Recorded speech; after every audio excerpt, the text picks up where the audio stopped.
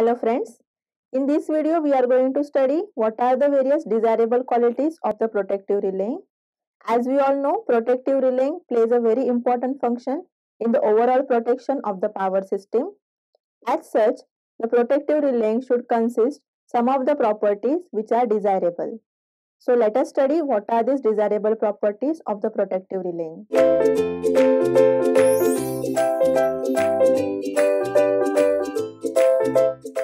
Know that power system operates for two conditions, normal condition and abnormal condition. Both the normal conditions and abnormal conditions should be detected by the protective system. Considering this, there are various qualities which are considered as desirable for the protective relays. Let us study what are these qualities. So, certain desirable qualities that the protective relay should have are first, reliability, second, selectivity and discrimination, third, speed and time, fourth, sensitivity, fifth, stability, sixth, adequateness, and seven, simplicity and economy. So, let us study each of these quality in detail. First is reliability. The name itself suggests that it indicates how reliable a protective relay is. So the relay should be reliable enough to operate for the fault condition. So let us study in detail what is reliability. So the reliability is the basic property of the protective relay. So it basically indicates the ability of protective relay system to operate under the predetermined conditions. Now what is meaning of these predetermined conditions? So the predetermined conditions are nothing but certain values of the parameters such as voltage, current are already fed in the relay. So suppose let us consider that the value of current which is set to the relay is 5 ampere. So up to the 5 ampere it is the rated condition that is the normal condition. But if the current goes beyond 5 ampere then the protective relay should operate. So this is nothing but the predetermined condition which is already fed to the protective relaying. Next point is reliability of protective system basically depends on how reliable various equipments are. So all the equipments that are connected in the power system, if they operate in the reliable way, then the protective system is said to be reliable. So the various equipments are, first is circuit breaker. As we all know, circuit breaker gets the signal from the relay so when the fault condition occurs, when the relay will sense the fault condition, it will send signal to the circuit breaker. The contacts of circuit breaker are already closed, but when the relay will send signal to the circuit breaker, the circuit breaker contact should open. So this is the reliable operation of circuit breaker. Next is relays. Now relay is fed with a certain actuating quantity. If the current goes beyond the actuating quantity, then the relay must send trip signal to the circuit breaker and the contacts of circuit breaker will open. So this is the reliable operation if we consider the relays. Current transformers. So basically current transformer sends the current. The primary winding of the current transformer has high number of turns as compared to the secondary winding. The secondary winding of current transformer is connected to the relay.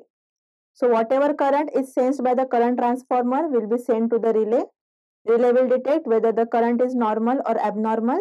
It will give signal to the circuit breaker. So this is the reliable operation of current transformer. Next is potential transformer. Again the potential transformer is connected in series. Again the potential transformer is connected in parallel with the power system.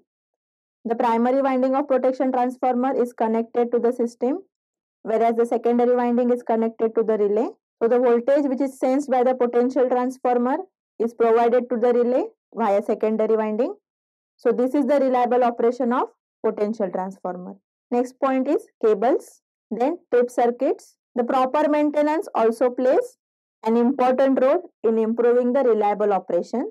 Whatever equipments are connected in the power system, they must be maintained regularly so that the reliable operation of the power system can be maintained. Now the inherent reliability is based on the design. It is basically based on the factors like simplicity, robustness, high contact pressure, good contact material, good workmanship. So depending upon on these parameters, the proper design of the equipments can be made. Now the next desirable property of the protective relaying is selectivity and discrimination. Now let us see what is selectivity. So basically selectivity is the ability of protective system to identify the faulty part correctly and to disconnect that part without affecting the healthy part of the system. Now when the fault occurs in the power system, then power system should be able to select whether the part is faulty part or the healthy part. Now if it is detected that the part is faulty, then immediately that faulty part must be disconnected from the healthy part of the system so that the healthy part of the system does not get affected by the fault condition. This property of protective relaying is called as selectivity. Discrimination is nothing but to distinguish. So the quality of protective relaying is the ability to distinguish between normal condition and abnormal condition. Now there are two conditions for which the protective system should operate that is normal condition and abnormal condition. Under normal condition, the protective system should remain inoperative whereas under the abnormal condition, the protective system should operate. So the protective relaying that is used should be able to properly discriminate or distinguish between the normal condition and abnormal condition. It should not operate for the normal condition. Also, it should distinguish between abnormal condition within the protective zone or elsewhere. Now, various power system components come under the protective zone. These zones of protection are overlapping. Every equipment which is present in that particular zone is provided with the protection equipment for that particular zone only. So the protective relaying which is installed in that particular zone of protection should identify whether the fault has occurred in its zone of protection or somewhere else. It should not operate if the fault has occurred in another zone of protection other than its zone. So this is also one of the important property of discrimination of the protective relaying. So the protective system should not operate for the faults beyond its zone of protection. Figure shows the protection system provided for the transmission line. So this is the generator. The supply is given from generator to the transmission line. This is circuit breaker A whereas this is circuit breaker B. Now there are two types of fault which have occurred here. First is fault F1 which has occurred between the circuit breaker 1 and this circuit breaker. Then there is a fault F2 which has occurred between circuit breaker 3 and circuit breaker 2. So the protective relay should be able to discriminate or select whether the fault has occurred in its zone of protection or the neighboring zone of protection. For example, if F1 fault has occurred, then circuit breaker in this zone should operate, not the circuit breaker present in this zone. Similarly, if the fault has occurred F2 over here, then the circuit breaker present in this zone of protection should operate, not in the neighboring zone. This is called as proper selectivity and discrimination. So from above figure, it is clear that if fault occurs in transmission line, then the circuit breaker 2 and 3 should operate and disconnect the line from the remaining system. The protective system should be selective in selecting the faulty transmission line only for fault F2. So if the fault is occurring on the transmission line that is fault F2 then circuit breaker present near the fault should operate, not the circuit breaker present in the neighboring zone of protection. Also, it should isolate it without tripping the adjacent transmission line breakers or transformers. So this is also very important. If we see this figure, if the fault has occurred in this zone, that is for the transmission line, that is fault F2, then the protective system should isolate only this transmission line part from the healthy part of the system. While tripping the circuit breaker in this zone of protection, the remaining part of the power system should remain unaffected. That is, if this circuit breaker is tripped, then the remaining circuit breakers, that is the circuit breaker present in this part, should operate as it is. It should not trip. Also, if the protective system is not selective, then it will operate for the faults beyond its protective zones and unnecessarily large part of the system will be isolated. So the importance of the selectivity and discrimination is that if the protective system is not selective, then it will trip all the circuit breakers in the faulty zone as per the neighboring zone. In this way, large number of power system equipments will get affected as well as the power system will get isolated. This will cause a lot of inconvenience to the supplier as well as user. Hence, selectivity and discrimination is very important if we consider the protective system. Next point is speed and time. So, the speed of operation should be high whereas the time required for the operation should be low. So, the protective system must disconnect the faulty system as fast as possible. Now, if this does not happen, then the fault will spread in the remaining system and large amount of system will get damaged. So, as early as possible, the protective system should clear the fault. If the faulty system is not disconnected for the long time, then following effects will occur. First is device carrying the current may get damaged if this faulty part is not disconnected, then the high fault current will continue throughout the system. Hence, the devices which are carrying this high current will get damaged.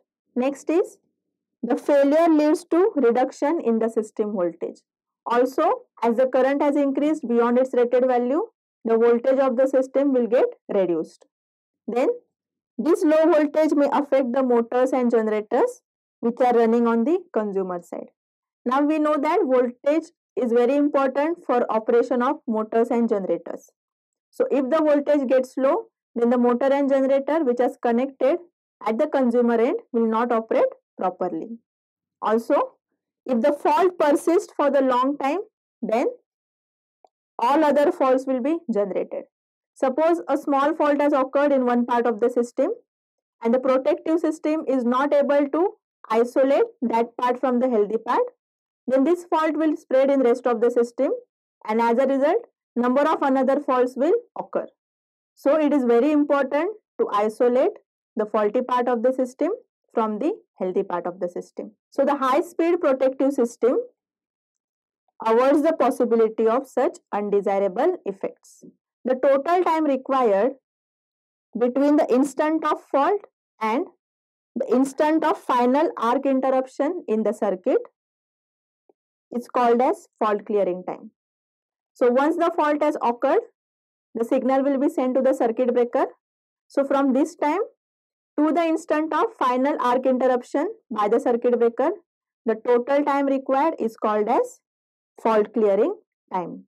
Also, it can be said that the fault clearing time is the addition of relay time and circuit breaker time. Because the signal to the circuit breaker is sent by the relay, so this time is the total addition of relay time and circuit breaker time. Relay time is time between the instant of closure of relay contacts. Normal operating condition, the relay contacts are open. When the fault occurs, the relay contacts are closed. So relay time is the time between the closure of these contacts. Now let us study what is the circuit breaker time. So circuit breaker time is time taken by the circuit breaker to open the contacts and extinguish the arc completely. Now under normal operating condition, the contacts of the circuit breaker are closed. So when the relay will send signal to the circuit breaker, the contacts of the circuit breaker should open. So circuit breaker time is nothing but time taken for the circuit breaker to open its contact and final arc interruption. The fault clearing time should be as small as possible to have high speed of operation of the protective system.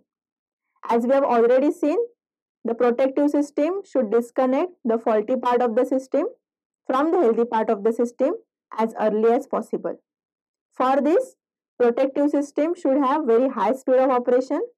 In order to attain the high speed of operation, the operating time of the protective system should be very small. Next desirable quality is sensitivity. So the protective system should be sufficiently sensitive so that it can operate reliably when required.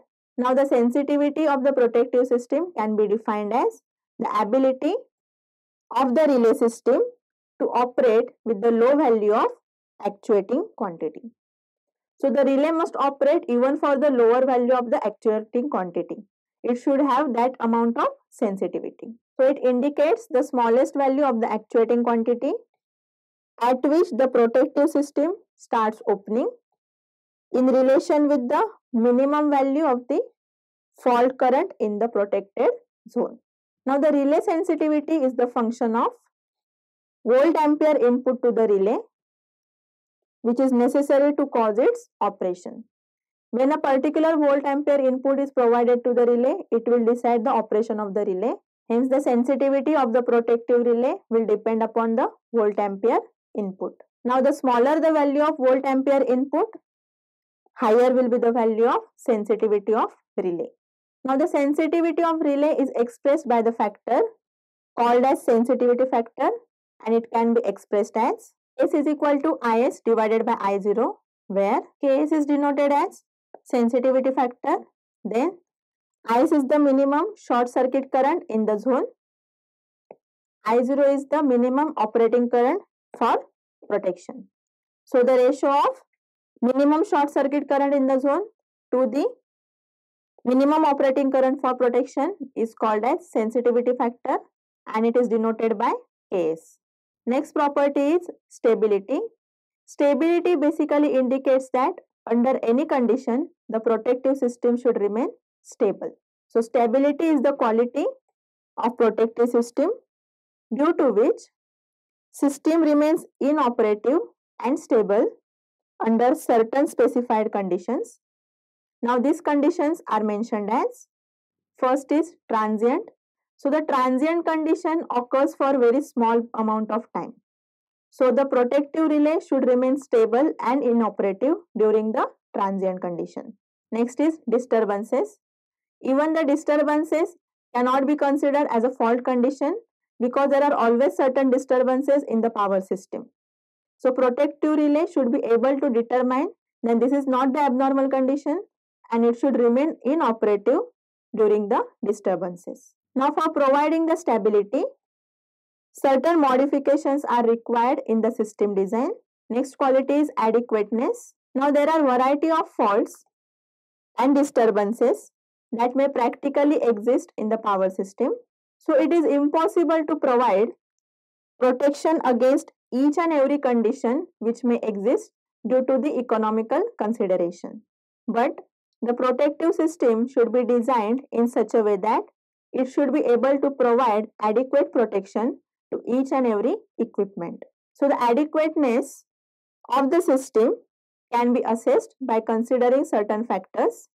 So these factors are listed below as first is ratings of various equipments, second is cost of the equipments, third is location of the equipments, fourth is probability of abnormal condition due to internal and external causes and fifth is discontinuity of supply due to failure of equipments. So by considering all these factors, the adequateness of a protective system can be determined. Next point is simplicity and economy. The relay system that is designed should be simple so that it can be maintained easily. If the complicated system is designed, then the maintenance becomes difficult.